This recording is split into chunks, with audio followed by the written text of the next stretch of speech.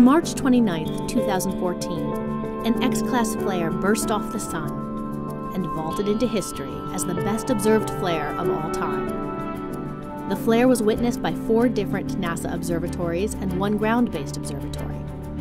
Each telescope captures a different aspect of the flare at a different height off the sun's surface.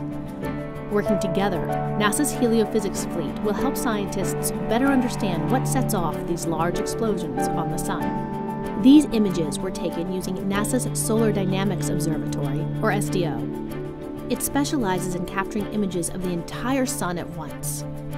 A close up shot captures some detail, but not at extremely high resolution. IRIS watches a range of layers in the sun's lower atmosphere.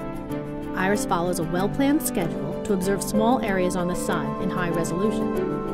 It was fortuitously pointed on this active region of the Sun in the hopes of catching a flare, and this is the first X class flare seen by the spacecraft.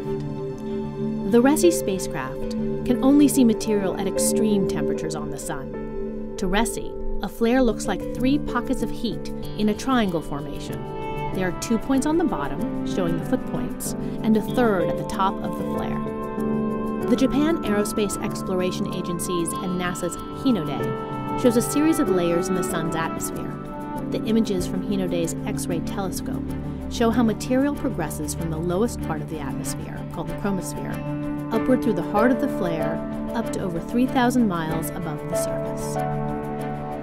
These images were captured by the National Solar Observatory's Dunn Solar Telescope in New Mexico. The telescope can focus on only a small area at once, but it provides much higher resolution of each area. The March 29th flare fortunately coincided with the best time of day for viewing from the ground. When combined, this comprehensive view of one single flare will shed light on many future discoveries.